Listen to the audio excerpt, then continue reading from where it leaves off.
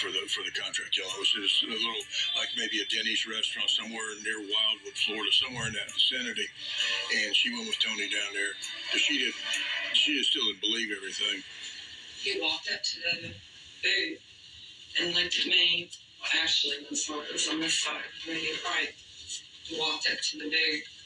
He looked me directly in the eyes. I made eye contact with him. And then he turned to Tony he said, What is she doing? He said what? What is she doing? And did he say it in a tone like that? Yes, he was very angry. She met Sullivan in there, and he said, "Something, what, what's she doing here?" And he's, "That's my girlfriend." And and uh, but she was there and present when the money transferred. He wasn't there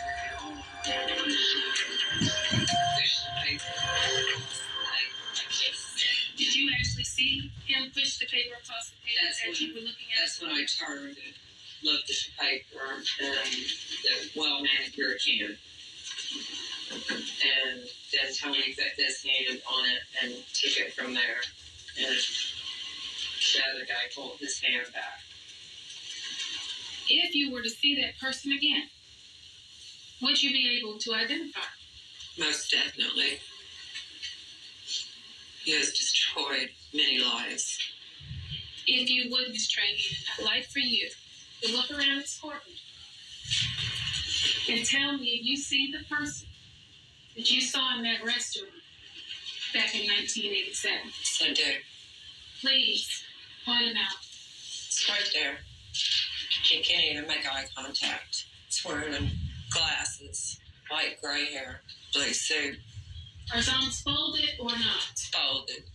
Your Honor, may the record reflect the witness has identified the defendant, James Sullivan. But after all these years, she was able to pick Sullivan out as being the person that uh, um, paid Tony Harwood the money, which is really really significant. Did you say anything to Mr. Sullivan at the time he gave you the money? Do you remember saying anything to him. I told him